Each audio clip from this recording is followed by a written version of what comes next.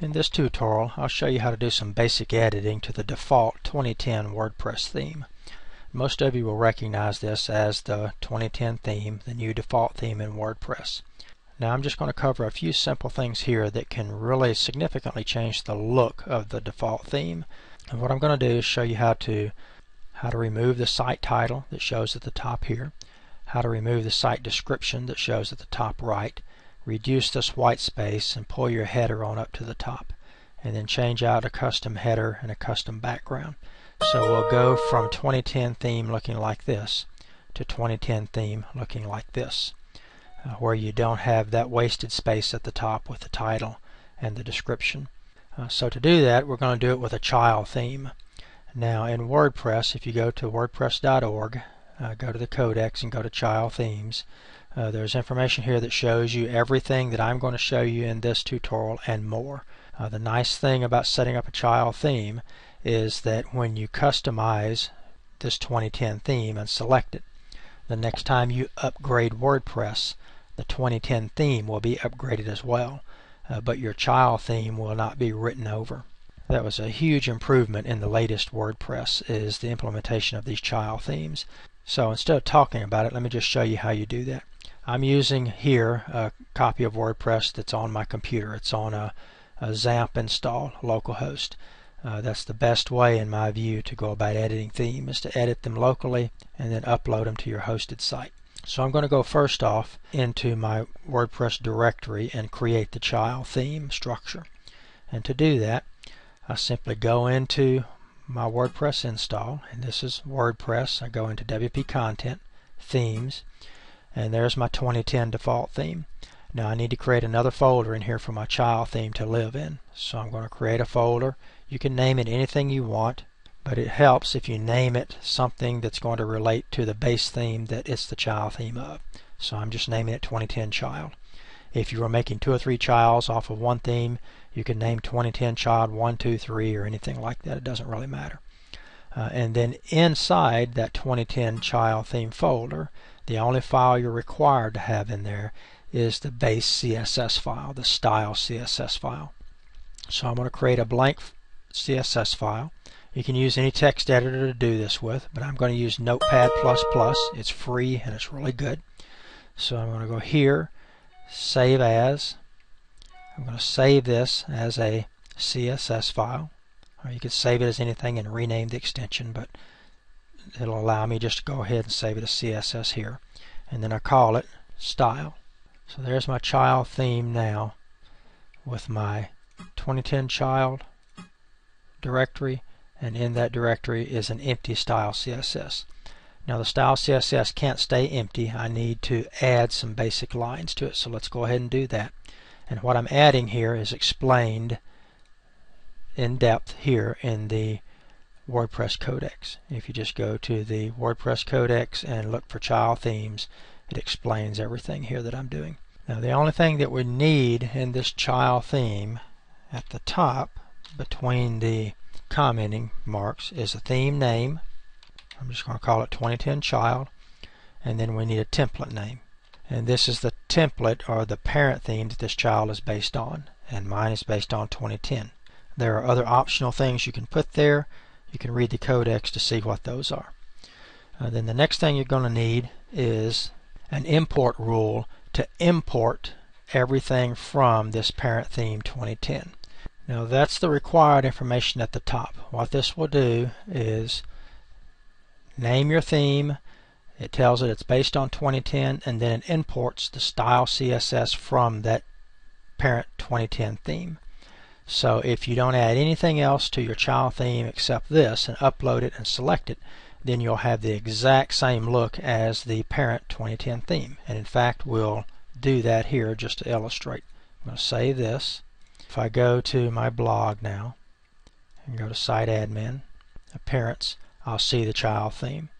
Now again, you can add more stuff and have a thumbnail of it. You can have a author and all kinds of things, but uh, look at the codex to see how to put that in if you want. Now I'm going to activate this child theme. So now the child theme is activated. I go back to my blog. Notice nothing has changed because it's just pulling in everything from the parent 2010 theme. But now is where it gets interesting because I can open that style CSS in my child theme and override anything in that parent theme. But first, before we do that, I'd recommend that you always change things that you can change through the admin interface. And one thing that WordPress 3 has given us with this theme here is the ability to go in to the appearance menu on the theme that we have chosen and select a header and a background color. Now I could manually code those in in the CSS but there's no need to do that since I can just click and do it here. So for my background I know that I want black as the background color. I could upload an image for the background if I wanted, but we're going to just go ahead and do black as the color. Look at my site. Now I've changed the background. I'm getting closer to this that I want. Uh, we'll go back and we'll take care of the header as well. You can pick any of the standard headers that are already there. Uh, or you can upload a header of your own. You need to create the header and have it 940 by 198 pixels. So I'm going to browse and find that header that I already have created at those dimensions and upload it. There it is. Now I can view the site. Now I'm getting closer. So now on my blog, just by making those two changes in the admin interface, I have my new header and I have the background color set. So if you look at the final product that I want, I want that header image to be at the top and that black line to be gone that the theme puts on it automatically. I need to remove this information. Now a very nice plugin that you need to be using if you're not, if you're using Firefox, is the Firebug plugin. So I could click on Firebug here since I have it installed and go up and inspect these elements in order to help me learn what I need to do. So let's look at this blog title here to start with. If I hover over that and click, I can look over to the right and see in the style CSS the coding for my site title. Now there are lots of ways to get rid of the title. Just as a demo here I could come in and just say uh, display none. Now some people tell me, I don't know if this is true, but they tell me that doing that is not good for your SEO. Uh, I'm not sure uh, whether that's true or not. I'm not an SEO expert. So uh, instead of doing that, there are several ways to handle this. One of the ways that we could handle it is to go in and set a negative margin. So I could go something like margin top and set the top margin. Let's get this display none off so we can see the impact here. And set the top margin at some negative pixel value. So if I were to go negative 10 pixels, for example, you can see how it moved the title up. If you watch, I'll just increase it to 20 and you watch the title. See how it goes up. 30 goes up. 40 up. 50 goes up off the page. So I could just go in and set a negative top margin to something ridiculous like a thousand pixels and it's theoretically still there but it's just never going to be seen. So that's the way that I prefer to do it. Uh, is just by doing it by setting the the high negative uh, top margin. So I can take that negative top margin then, knowing that I'm going to do that. Uh, we're going to do this in the site title. I'll just copy it from here to keep me from having to re-enter it. And we'll come over here and this is where we'll start. We'll come over here and this is where we will start our editing. And normally on a child theme I just go ahead and put a comment here just to help keep me straight. So start editing below because I want to make sure this stuff here uh, stays. And you don't want to have anything above this import rule. Uh, ever all your editing has to be below this import rule. Uh, so here then we're going to start our site title editing. And we know that we want to set the margin top to minus 1000 pixels. And we'll go ahead and close that off and save. Then I should see that my site title is gone now I can do the exact same thing now with the site description. So site description is, if I look at it here, site description. I'm going to take that. I won't do any editing here just to sort of show you what happens if I just go straight to the CSS. And we're going to go now site description, margin top, and we'll do the same thing and close it off and save it. Now I've saved, if I go back and refresh, Now we see the site description's gone and everything is collapsed up because that's not taking up the space anymore. So now I'm getting closer to what I want here. I still have that line and I still have a little too much padding at the top here. So we need to take care of those. Go back here. I'm going to look at the, again, inspect the element, look at my header. And if you notice on the branding image here, there's a top border set. And that's what's causing that black line across the top. If I were to close that off, notice how it just disappears. So there's a couple ways we can go about removing that. I'm going to take the branding image. But the way that I'll do it here is that I'll just come down and we'll and I'm going to go border top width and I'll set the width of the border to zero pixels and that'll just make it disappear.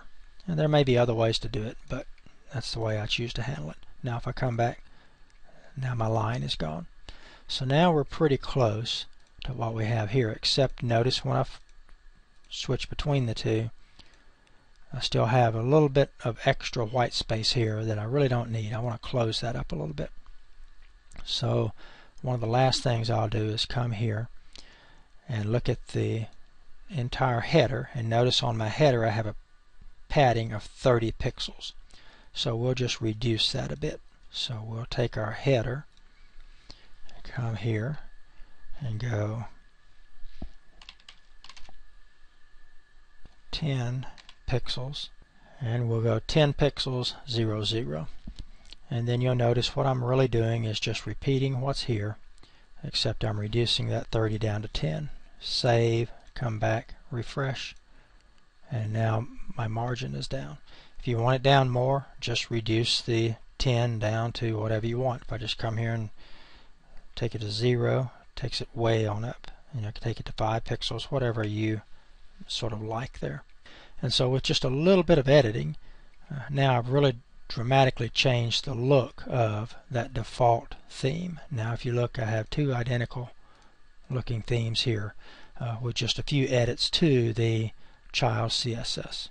Now if we go back into Appearance, if I select again the default 2010 theme, then my default is there. When I go back and select my child, now all my changes are there. So in the future, when I upgrade WordPress and the 2010 theme gets overwritten and upgraded, it's not going to overwrite my child theme and all my customizations will still be intact.